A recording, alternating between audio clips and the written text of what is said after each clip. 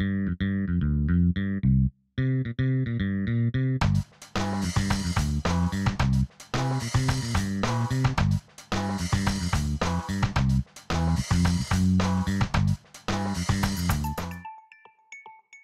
was always looking for the way to make people smile. Since we get hungry every day, we have to cook every day. So even though cooking is fun, doing it every day makes it something you got to do. We want to inspire people to enjoy cooking more.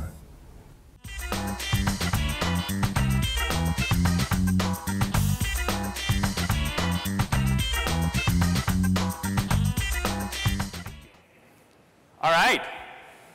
Progress. So I've been doing Ruby and Rails for, for close to a decade now, which is um, long enough time to um, be one of the very few people who is eligible to apply for the uh, New York Library position, requiring eight years of Rails experience. So I'm very happy about that. Um, I'm also very happy that I'm still here because I generally do not have an attention span that lasts a decade. And the only reason I'm still here is because over the past decade, we've managed to keep me and a lot of other people interested still in the framework and in the language because we've been able to make progress. Every single year, every single month, almost every single day, there's a flurry of new commits going to the Rails source. Some things are, are tiny fixes, um, spelling mistakes in, in the RDoc, or sometimes it's huge new features. Um, but the important part is that we're constantly making progress. Now, that's the part to me that, that keeps me interested and, and keeps me engaged with the community. But I want to explore this, this concept a little bit more of progress because when you think of it as an abstract idea, progress, if you're like, do you like progress? And of course you're like, progress is awesome. I like new things. I like improvements. I like changes. I like things that make my world better, right? When you're just asked, do you like progress, it's kind of like asking, do you like parfait? Who doesn't like parfait? Parfaits are delicious. Nobody's going to say, ah, I don't like no parfait. Um, and nobody's going to say, I don't like progress, at least not in the abstract sense of it. And also not if we make it just a little more concrete, but far enough in the past that we can all laugh at it. This is COBOL code, and we can all say, oh, it's great, there's been progress, we don't have to write COBOL code anymore. Um, and recently, sort of the size of the things that we can all agree on, it's great that we moved on from, from COBOL, um, expands, and we can include other things, like Java. Um, and we can all laugh together and, and, and sort of uh, playing and cheeky and, and, sort of like uh, Kanye would say, um, or he wouldn't. Whoa. We rock, baby. You need to try some new things. Have you ever had shoes without shoestrings? Right, right? You want to tell the Java programmers, have you ever tried shoes without shoestrings? Like all this crap you need to, to write to write hello world, right? That's become a safe thing now, right? It, it's safe to say, I like that kind of progress. Um, easy progress that we can all agree on um, is a good thing. Like wearing uh, suspenders and belts at the same time. There's no controversy around that kind of progress anymore. But that's not really that interesting. It's not really interesting to talk about all the things that we can all agree on is great. Let's talk about the kind of progress that, that we perhaps don't all agree on is great, or at least not all at the same time. Because, as I was talking about, the, the reason I keep being interested in Rails is because we make the kind of progress that makes people a little uneasy, including people in our own camp.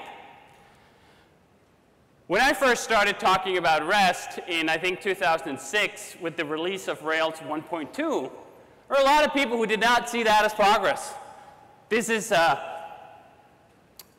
just a sort of wanking of um, theories that don't really have an impact on what we do every day. A lot of people saying like, what, I have to fill out a routes file now? I used to be able to just have a controller action ID thing that did everything for me and I didn't have to worry about any of this. This is not progress.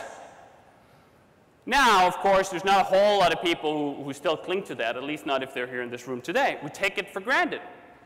REST is just something that we do, and we do it, and it's a good thing, and it's progress. Well, can move up that ladder a little bit. Ruby 1.9. That's the kind of progress where we're not even there yet. How many of you in here are still on Ruby 1.8 for your main production system you're working on? So about, what, a third of the room, right? I've heard lots of people talk about, why do we even need Ruby 1.9? Are these improvements really worth it? What about all the software we have to rewrite? This is a hassle. I don't want to bother with this. I have my own problems to worry about. Ruby 1.9 is a nuisance and progress smogress. Right? Let's ratchet it up a little bit. Bundler.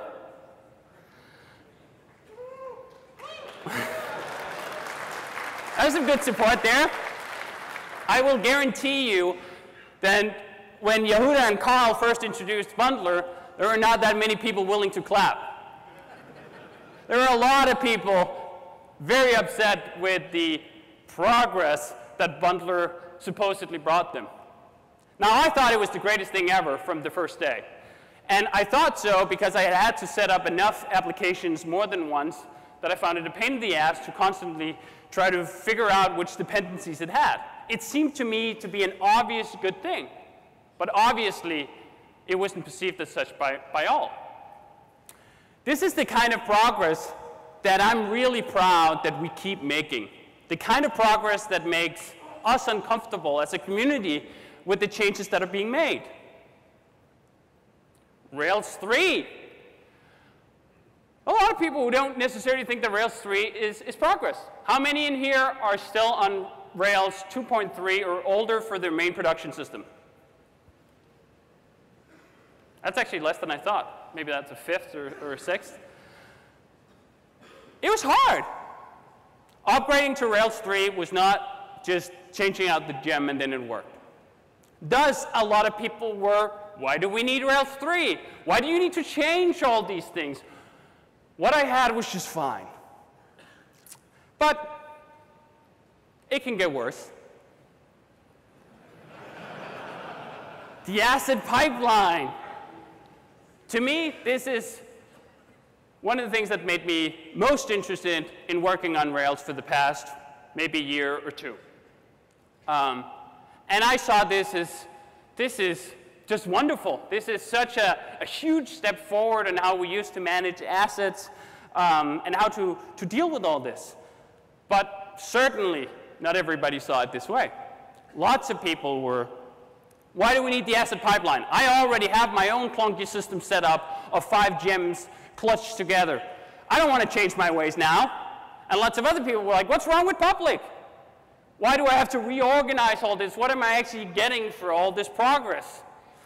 Um, so you see, when you talk about progress in the abstract, do you like progress? It's very easy to answer, yes, I like progress.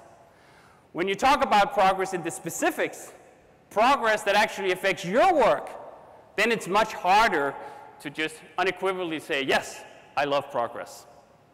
And finally, of course, speaking of progress, CoffeeScript.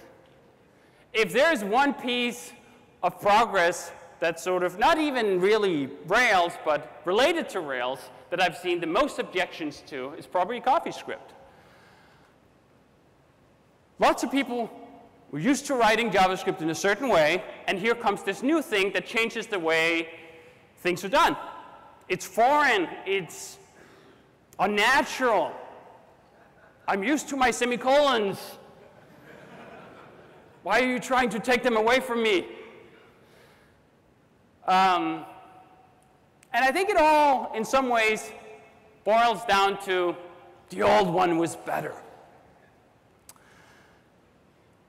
And this is a very common theme, I think. It's not just about programmers. Lots of people like the old one better. Whenever OS 10 upgrades, I always try to rush out and, and install it, and, and then I too get mad about they changed the way you move the mouse with the trackpad. Why did they do that? How is that progress? It's just frustrating, right? And then you get used to it, of course, and it's great. Now, of course, not all forward movement and progress. Just because something is new doesn't automatically make it better. There are plenty of new things you can bolt on that just adds drag, right?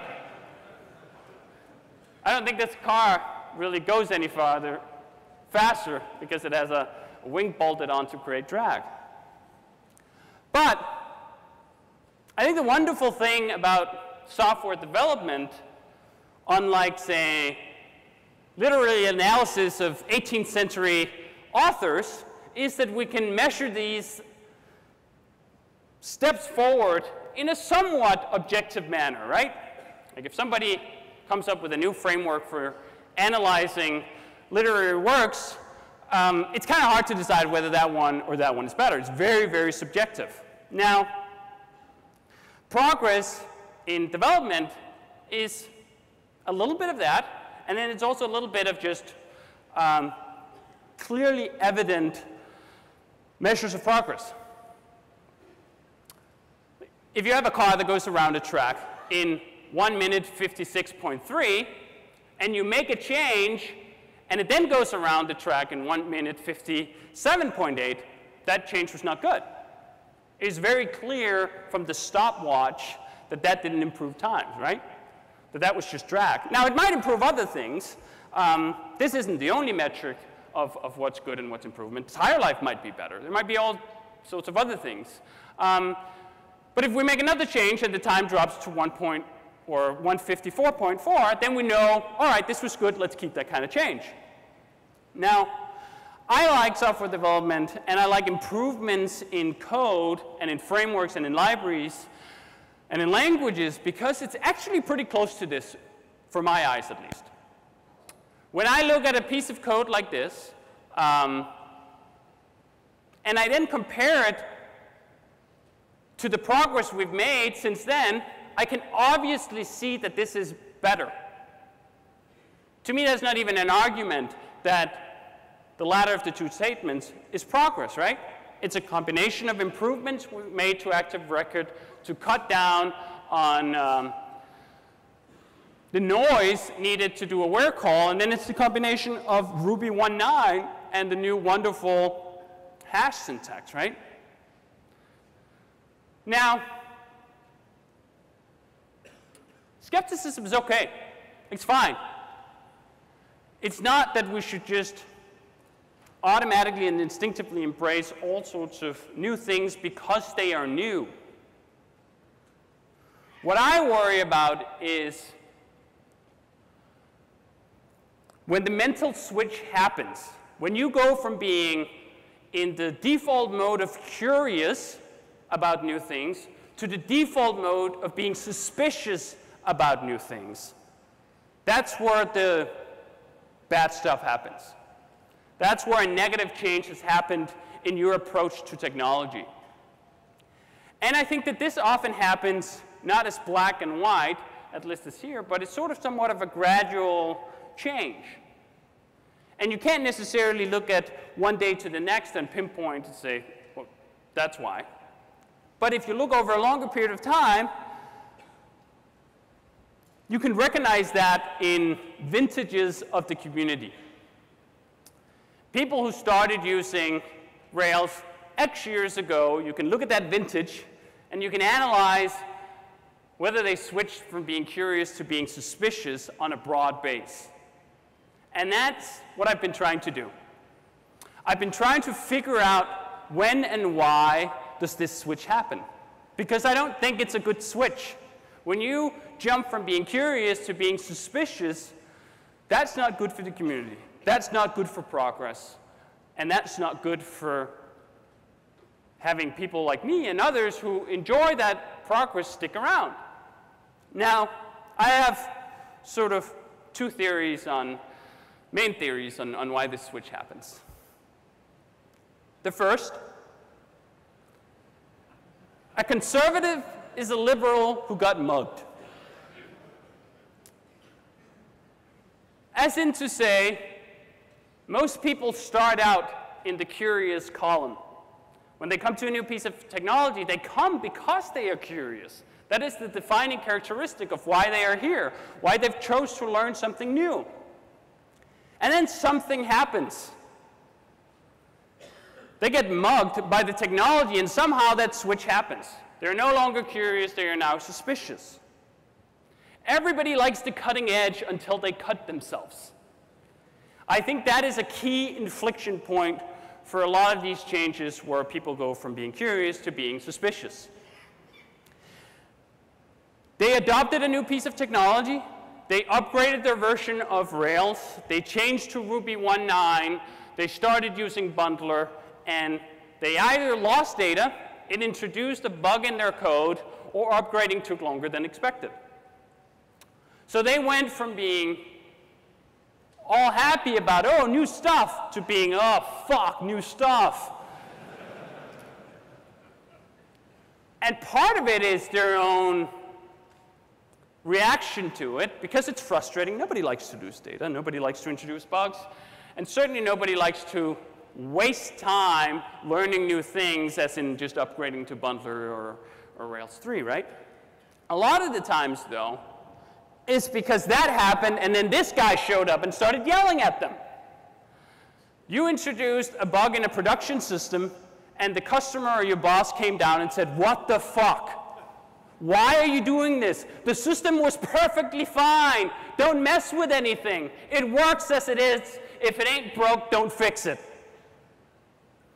And then that's followed up by both specific words from this guy and your own mental process saying, this can never happen again.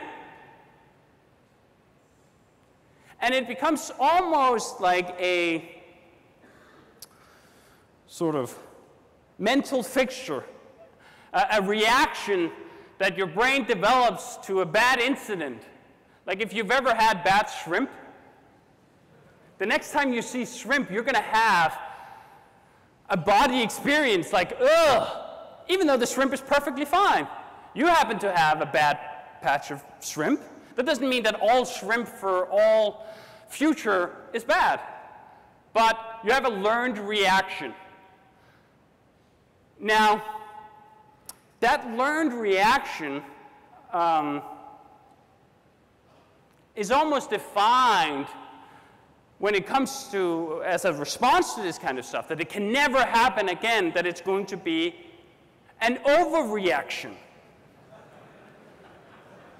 This can never happen again. We need to do everything in our power to stop that from ever happening again. No more progress. We tried progress, it didn't work. So you indulge yourself in this overreaction where you start wasting your time on all these things that don't really matter, that do not make your program any safer. Your program is still going to have bugs, whether you introduce new pieces of software or not. You're going to change it on your own, and you're going to make your own damn bugs. But by now, it's too late. You've been gripped by fear. And once fear is in your body, and once you have this learned response that progress is bad because progress meant I had a bug or I lost some data or it took longer than I expected, and somebody started yelling at me, no thanks. I'm not interested in having that happen again. Now, I think this is the kinder of the two explanations I have for why people start rejecting progress. Because at least you can point to an event and say, something bad happened to you. I can understand why you're upset. I don't think you're reasonably upset, and I think you're taking unreasonable measures to sort of have that manifest itself. I don't think it's actually good that you're rejecting progress on this basis just because you're scared.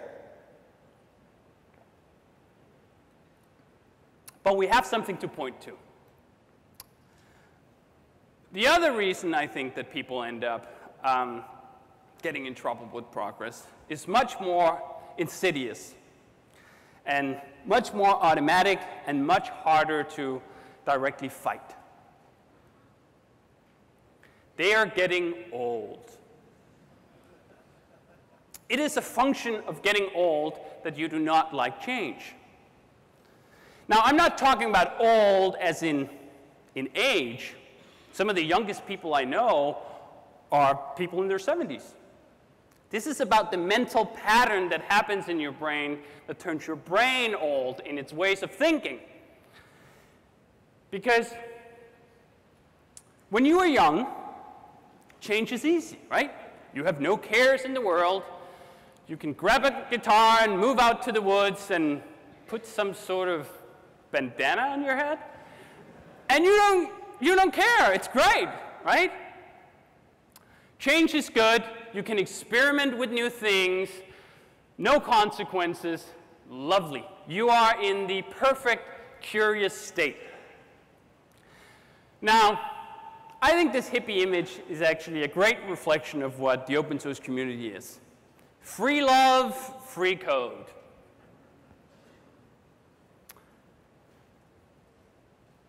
That's great. Now, most people do not stay in this wonderful state of free love, free code, lots of curiosity till their end of days. A few people do. A few people hang on to, to their early ideals, but all hippies are pretty rare. Most hippies, as they grow old, do not think back about the wonderful time that they had dancing around, playing and experimenting with all sorts of substances. No.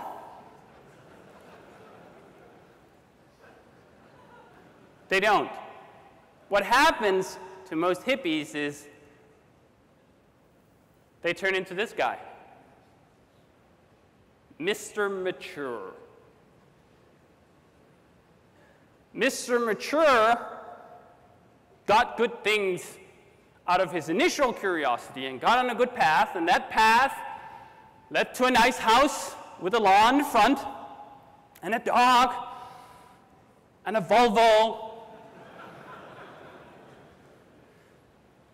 Mr. Mature has something to lose. And if you're a software developer and you're a Mr. Mature, you have something to lose because you invested all this time in the things you know now. I spend all my time learning programming languages. Now I know, all right? Don't try to tell me how things are, how they're going to be. I know how they are. And that's the flip side of nice things. If you look at the Rails community, for example, we now have nice things. We have a conference where lots of people come. We have tons of books. We have consultants up the wazoo. And we have plenty of companies using Ruby on Rails. In terms of technology, that's very nice things, right? And when you have these very nice things, you instinctively just become afraid of losing them. Don't rock the boat too much. It's going just in the right direction. Now,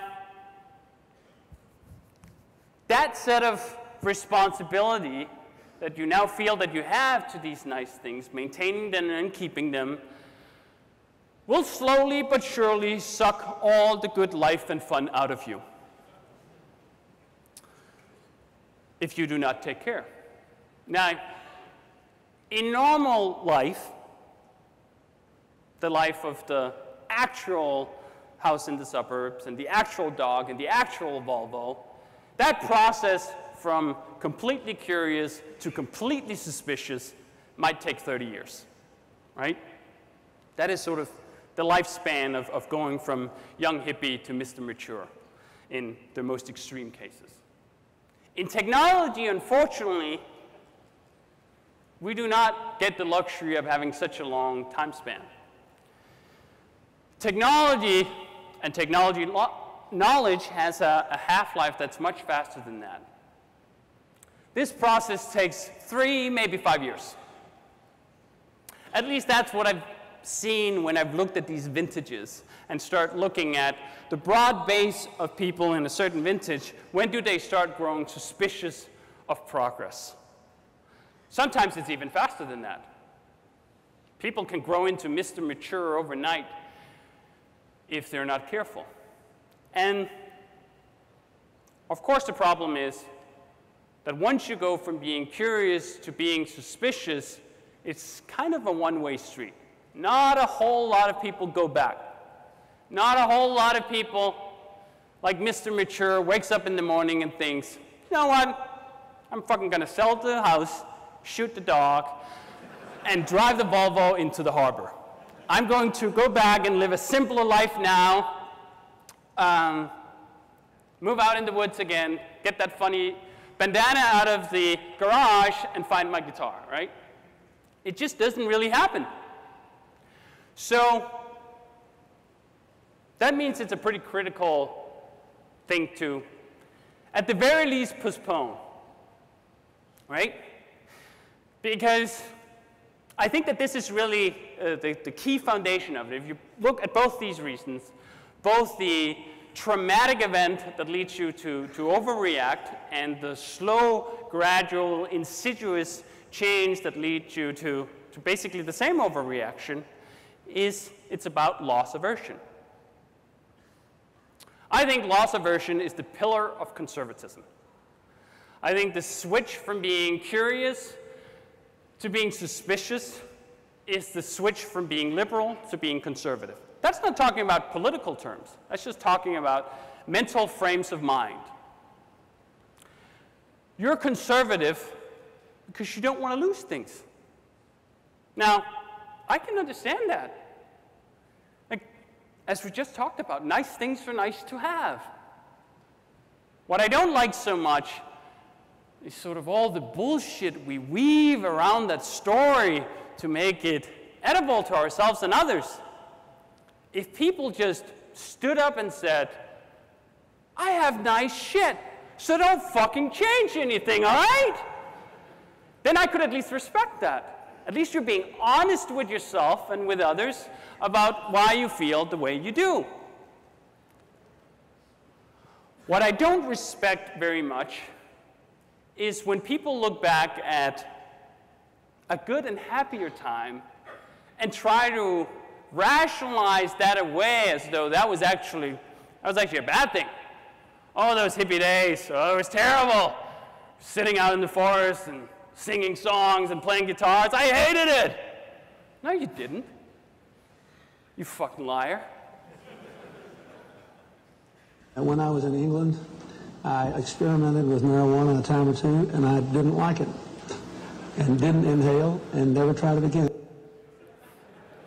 No.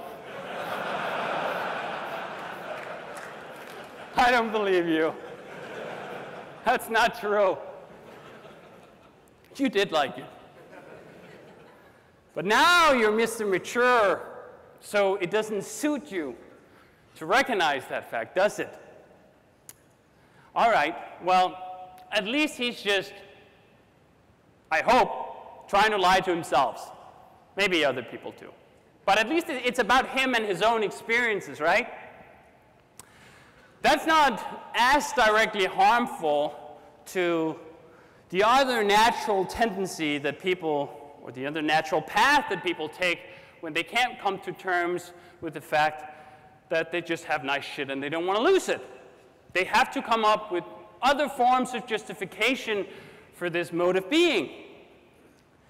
Now, the one thing that people usually grasp to, to right away, and I only made this connection recently, is when you talk about public policy and things that should or shouldn't be allowed, um, people can't just look at their own experience and say, oh, it's because I don't want to do it anymore, so, so you guys shouldn't either, right? No, no, no, no, no.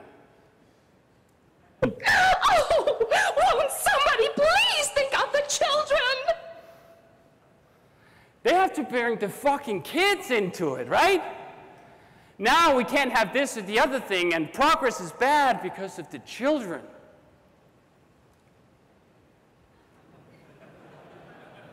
We have that same tendency in the technology community.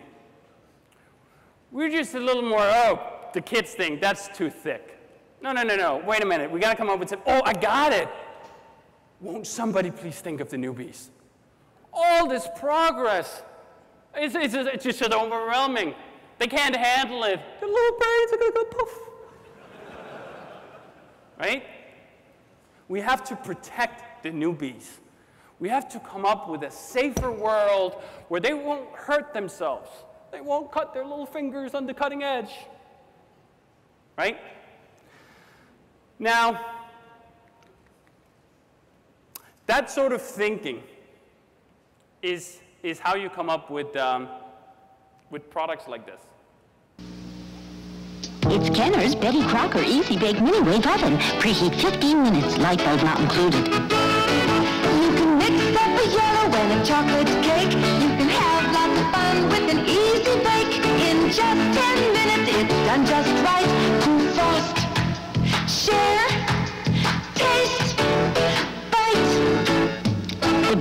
Crocker Easy Bake Mini Wave Oven with Betty Crocker mixes from Kenner. Yes. People very often want to turn technology into easy bake. Something where the kids won't burn themselves, right? Something that's safe and we can leave them alone and they can, they can experiment with, with this play world that's, that's almost like the real thing, right? Have you ever eaten a cake that came out of an easy bake? It's fucking disgusting.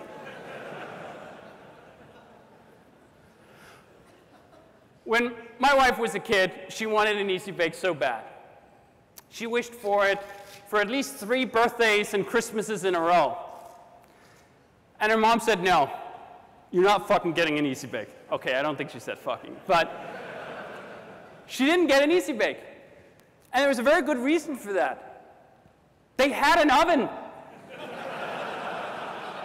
and it could make real cookies that actually tasted delicious. Now, a real oven is, is dangerous. You can burn yourself and burn down the house and, and all these other things, right? But because my wife's mom said, no, you can't have an easy bake, you have to learn the real thing. She actually learned something valuable. She actually learned a valuable skills, and by the time she was 11 or so, she was actually making real cookies that people other than folks in commercials would smile if they ate. Now, we need to do the same thing for the actual newbies. Yes, the real world of technology can be dangerous. Sometimes you can cut yourself. And progress can be hard, and it, it, it can be frustrating, and that's okay. It's supposed to be. You're learning valuable life skills that you can take on and actually use for something. So if we try to dumb everything down to the easy bake level because, oh, we want to be so good for the newbies, they just learn to bake crap cakes. Nobody's interested in that skill. It's not a markable skill. So, if you want to actually learn real skills that will carry you forward and is something that you can use for the future, you need to learn to bake on a real oven. You need to learn to use a real framework that will actually solve real problems and that has hardship in it. And the more we progress, the harder it's going to be. Because the more things we solve, the more stuff there is to learn. And that is just how it is. Now, there's this insidious alliance.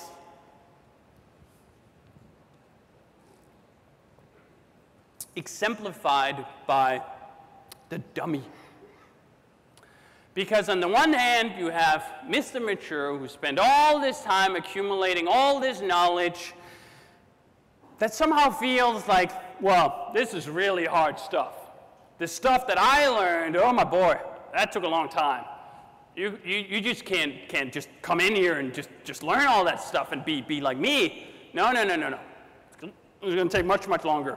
So instead, we, we sort of just have to sort of keep it at your level, something that you can understand, start it nice and simple. And of course, on the other side, you have Mr. Dummy. People just starting, just wanting to learn, They have no confidence in the things that they don't know how to do. So this is a natural role for them to step into. Oh, yeah, yeah, I, I'm Mr. Dummy. Talk to me like I'm a five-year-old. Mm-hmm.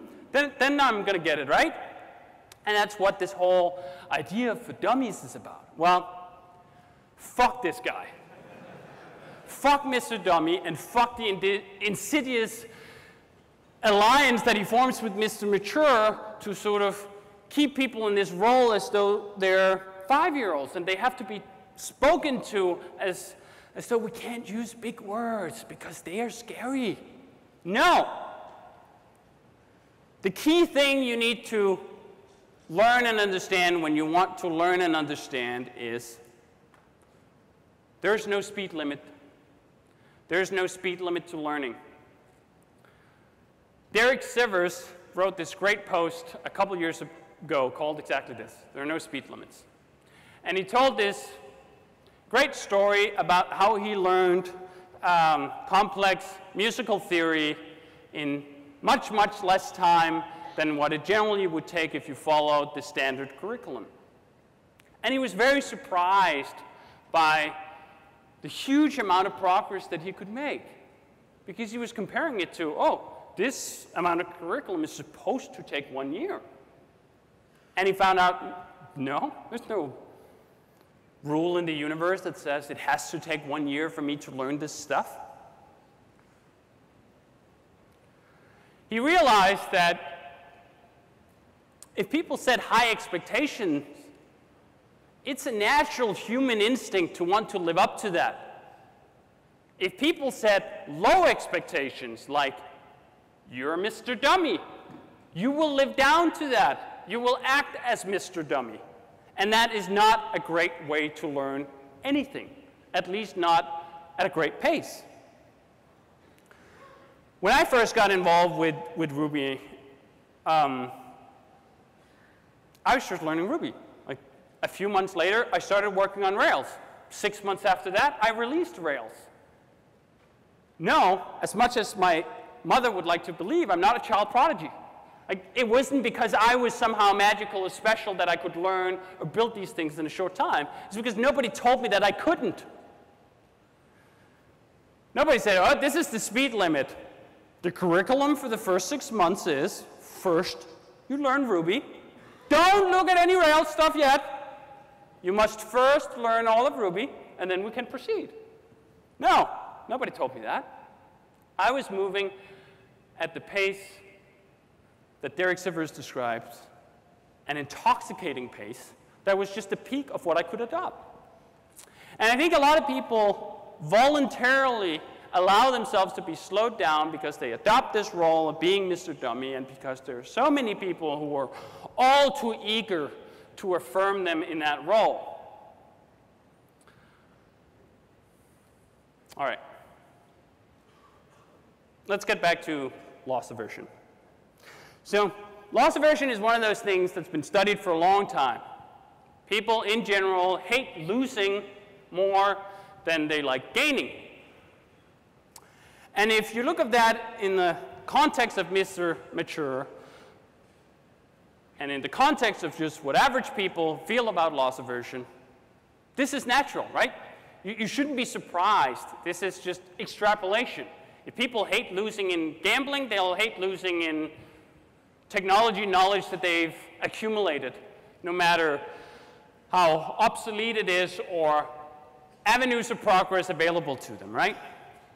Now, what I find really interesting about this, this research is that um, this doesn't have to be. You can get out of this. You do not have to be stuck at this average of being loss averse. It's not an immutable natural law that you cannot fight and you're bound to just be stuck with this. No. They did a bunch of experiments in this.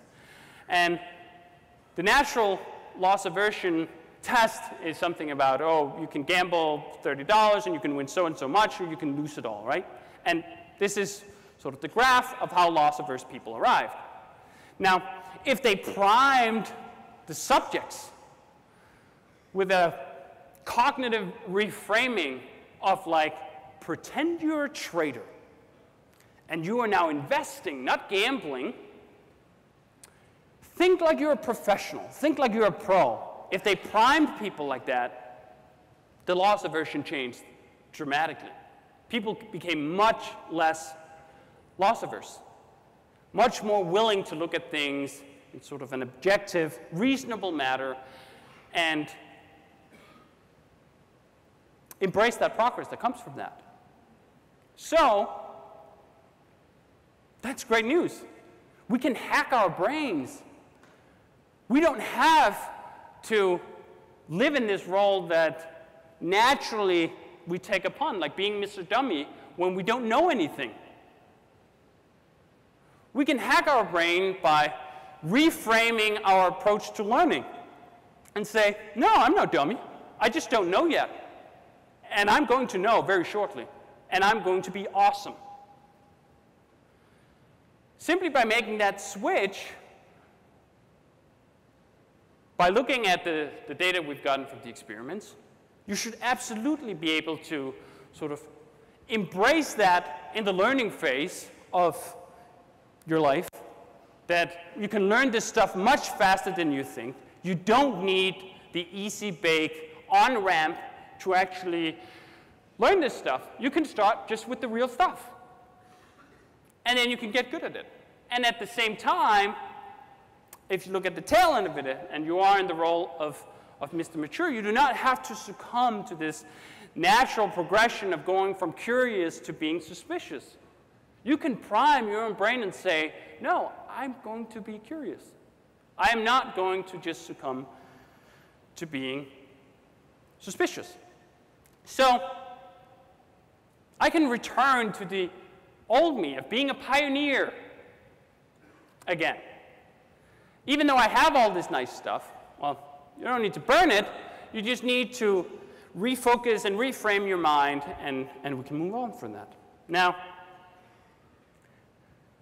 all this is sort of about your individual approach to, to progress and, and how you feel about it. Um, and, and, that's great, right? But I, I got into this because I, I, cared about me. I cared about my own progress. I cared about the technology that I have to use. And what I found is that the only great products I know are made by people who use them. Like, I can't build you a great easy bake oven because I don't give a shit about an easy bake oven. I only care about tools that I can actually use, right? So think about that when the whole sort of discussion comes to, oh, what can we do to sort of dumb things down and, and make it more easy bakery to, to get on to, to Rails, right? If that approach is in conflict, what people who truly deeply care about working on these tools would actually use, they're going to produce shit. They're certainly also not going to produce it for free, or if they are, they're not going to do it very long. Usually the only time you can get people to, to build this kind of stuff that's not for them, just for other people, that they don't truly care about because they're not really going to use it themselves, is by paying them. Nobody's paying me to work on Ruby and Rails.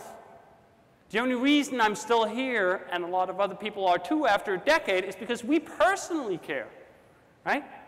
So if we can align these priorities, and if we can all get behind, all right, well, let's build things that are both great for people who are actually building them and great for people who want to learn how to use them. That's the path forward.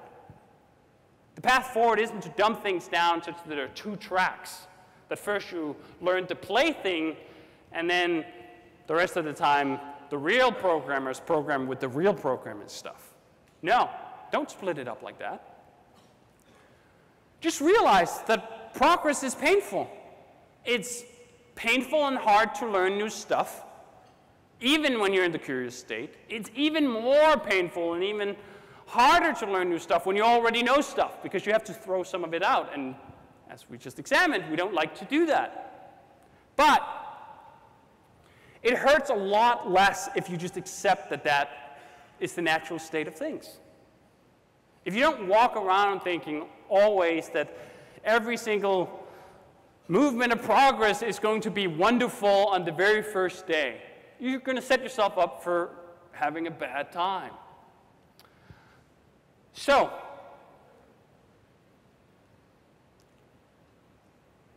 let's take that and sort of internalize it and, and think about the future. Rails 4 will change things. Rails 4 will break things. And initially, you're going to feel like, I'm having a bad time. I knew how it used to work, and this is a little foreign. And this hurts a little bit. But now that you know that this is the natural reaction, you can layer some cognitive response on top of it. So, let's all repeat together. I will not fear change.